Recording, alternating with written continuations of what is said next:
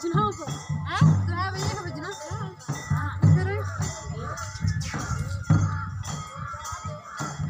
माता जी कहाँ से आए हो भक्तो